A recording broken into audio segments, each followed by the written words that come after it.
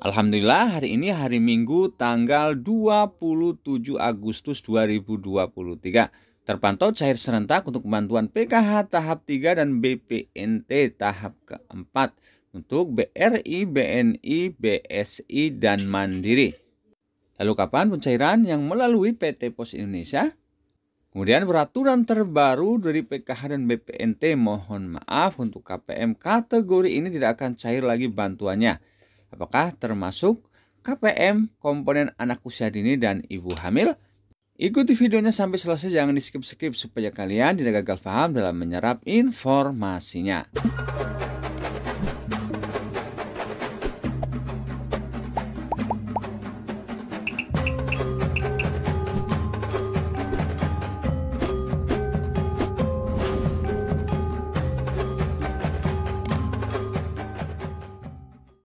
Assalamualaikum warahmatullahi wabarakatuh dan salam sejahtera buat kita semuanya.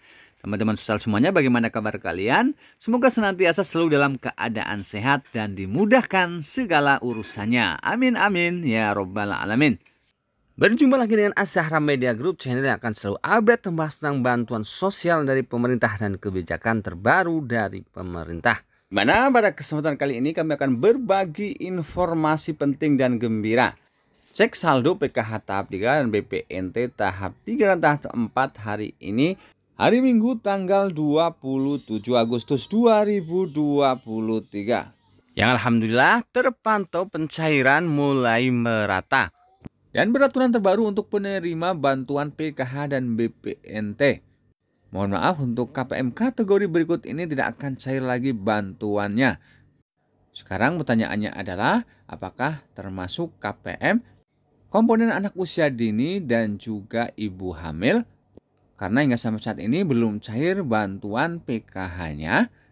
Namun sebelum ke pembahasan lengkapnya khususnya kalian yang baru menemukan channel ini mari kita berteman dengan cara subscribe kemudian tekan tanda loncengnya supaya kalian selalu bisa mendapatkan notifikasi berita dan tips-tips bermanfaat lainnya dari channel ini secara gratis nantinya. Karena channel ini akan selalu update tentang bantuan sosial dari pemerintah dan kebijakan terbaru dari pemerintah. Supaya kalian tidak ketinggalan berita. Dan teman-teman semuanya, langsung saja kita ke informasi lengkap.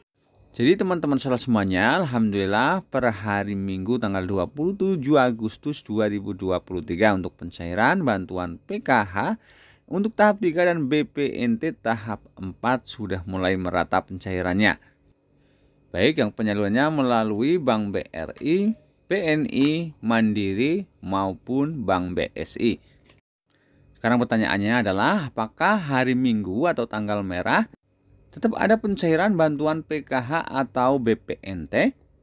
Jadi teman-teman saudara semuanya untuk pencairan bantuan PKH dan BPNT yang melalui KKS Merah Putih. Seperti tahap-tahap sebelumnya, pencairan di hari Minggu atau tanggal merah tetap ada. Walaupun memang tidak sebanyak di hari-hari kerja. Dan nanti kita sama-sama lihat di pertengahan video untuk bukti-bukti struk pencairan bantuan PKH dan BPNT. Pada hari ini, hari Minggu tanggal 27 Agustus 2023. Yang pertama Alhamdulillah Mojokerto Jawa Timur BNI bertahap cairnya namun pasti.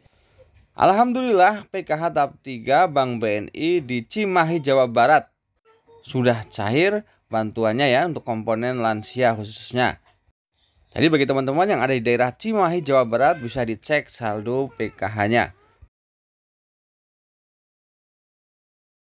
Selanjutnya Alhamdulillah akhirnya cair juga untuk bantuan PKH dengan Bank Penyalur BNI di daerah Bandung Timur komponen SMP katanya. Begitu juga dengan teman-teman yang ada di daerah Cibarusah juga sudah cair bantuan PKH dengan Bank Penyalur BNI. Selanjutnya Alhamdulillah selamat bagi teman-teman yang ada di daerah Aceh juga sudah cair bantuan PKH dan BPNT-nya untuk Bank Penyalur BSI. Jadi bagi teman-teman yang ada di daerah istimewa Aceh silakan bisa cek rekening KKS-nya. Selanjutnya Alhamdulillah sudah cair bantuan PKH tahap 3 dengan bank penyalurnya adalah BRI di daerah Lampung Tengah. Bagi teman-teman yang ada di daerah Lampung Tengah dengan bank penyalur BRI silakan dicek saldonya. Kemudian selamat bagi teman-teman yang ada di daerah Kalimantan Timur juga sudah cair bantuan PKH atau BPNT-nya. Selanjutnya Alhamdulillah PKH Bank Mandiri cair untuk area Cirebon dapat 385.000 katanya Alhamdulillah Selanjutnya Alhamdulillah cair BPNT Sulawesi Selatan tepatnya di kota Pinrang sebesar Rp400.000 Selanjutnya untuk kota Bengkulu Utara juga sudah cair bantuan BPNT senilai Rp400.000 untuk alokasi Juli Agustus 2023. Begitu juga untuk daerah Jawa Tengah juga sudah cair bantuan BPNT-nya dengan bank penyalur Bank Mandiri. Dan Alhamdulillah BPNT murni untuk daerah Bogor, Kalimantan Timur, Cilacap, dan Banyuwangi juga sudah cair dengan bank penyalurnya Bank Mandiri. Selanjutnya Alhamdulillah daerah Yogyakarta juga sudah cair BPNT murni dengan bank penyalur Bank Mandiri. Selanjutnya Alhamdulillah untuk teman-teman yang ada di daerah Jakarta Utara PKH tahap 3 untuk bank penyalur Bank BNI juga sudah mulai dicairkan.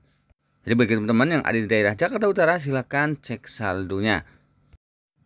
Selanjutnya selamat bagi teman-teman yang ada di daerah Garut, Jawa Barat juga sudah cair Bantuan sebesar Rp400.000 dengan bank penyalur Bank Mandiri.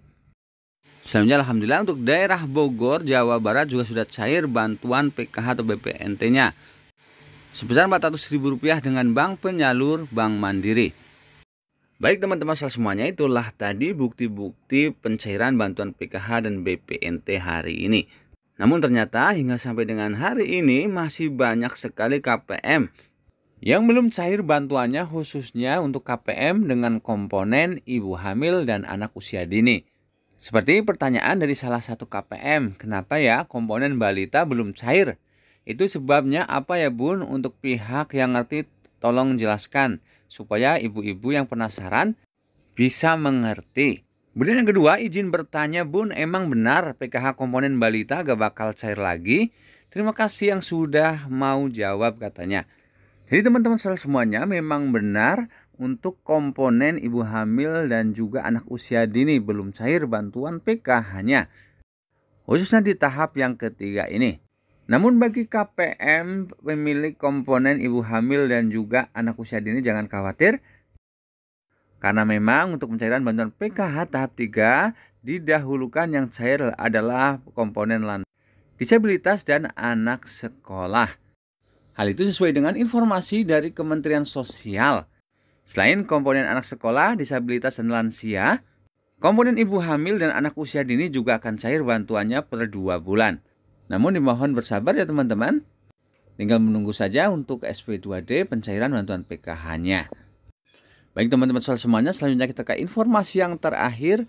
Peraturan baru mohon maaf untuk KPM kategori berikut ini tidak akan cair lagi bantuan PKH maupun BPNT-nya. Apakah termasuk komponen anak usia dini dan ibu hamil? Ataukah ada kebijakan terbaru lainnya? Jadi untuk kebijakan baru yang pertama adalah bagi KPM yang memiliki anggota keluarga yang memiliki pendapatan di atas UMK atau upah minimum kabupaten atau kota akan diverifikasi oleh para pendamping sosial dan kemungkinan nantinya akan dikeluarkan dari penerima bantuan PKH maupun BPNT. Kemudian peraturan yang kedua adalah bagi KPM yang namanya terjaring masuk dalam verifikasi ketidaklayakan penerima bantuan sosial yang diadakan setiap bulannya mulai tanggal 15 sampai dengan akhir bulan. Yang pertama adalah bagi KPM yang meninggal dunia. Kemudian bagi KPM yang tidak ditemukan alamatnya karena pindah alamat. Selanjutnya bagi KPM yang terdeteksi di dalam kakaknya ada salah satu anggota keluarga yang memiliki pekerjaan seperti PNS, TNI atau Polri, pegawai BUMN atau BUMD. Dan selanjutnya bagi KPM yang kehidupannya sudah sejahtera. Jadi bagi KPM yang terverifikasi tidak layak lagi menerima bantuan sosial dari pemerintah. Kemungkinan besar sudah tidak akan lagi cair bantuan PKH, BPNT, bahkan bantuan PBI atau penerima bantuan iurannya. Baik teman-teman semuanya itulah tadi informasi penting kita hari ini semoga bermanfaat dan tentu kami akan selalu mengupdate informasi lainnya. Akhir kata wassalamualaikum warahmatullahi wabarakatuh.